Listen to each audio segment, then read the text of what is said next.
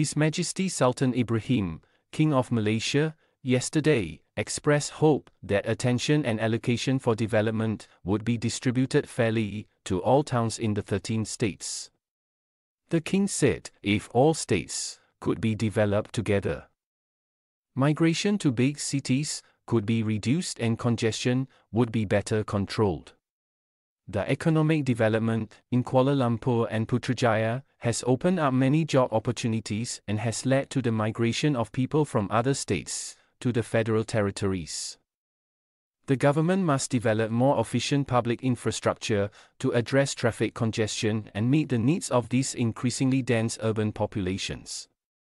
The question is Is it because these federal territories, Kuala Lumpur, Putrajaya, and Labuan, are directly governed by the federal government? A lot of development funding is concentrated only in these three territories.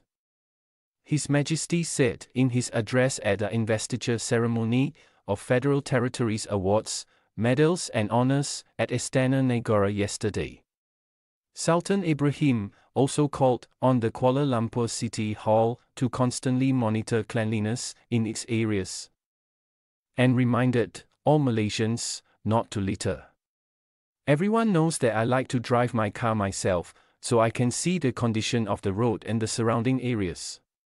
What I see is that there are still some places in Kuala Lumpur where the cleanliness is not satisfactory. My government is not a garbage collection government. To the enforcement officers, carry out your responsibilities with honesty, sincerity, and trust, His Majesty said.